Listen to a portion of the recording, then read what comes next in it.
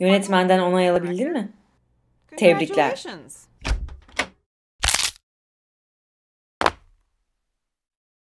Önceki videolarda öteleme ve ölçeklendirmenin işlem sırasının değişemeyeceğini görmüştük. Şimdi biraz cebir kullanarak bu bilgiyi daha iyi anlamaya çalışalım.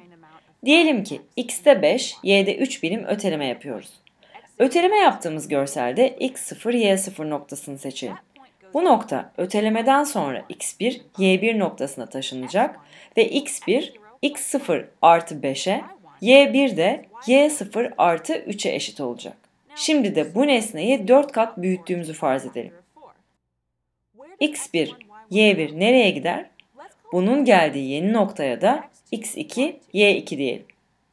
Ölçeklendirme kuralına göre x2 4 çarpı x1'e, y2 de 4 çarpı y1'e eşittir.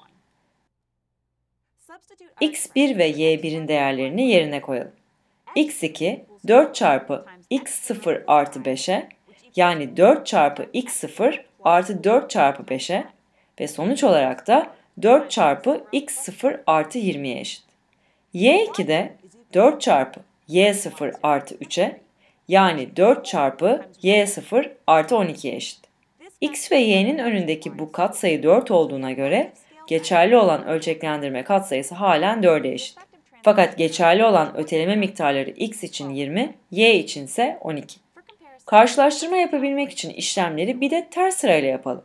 Yani bu sefer önce boyut değiştiriyoruz. x1 4 çarpı x0'a, y1 de 4 çarpı y0'a eşit.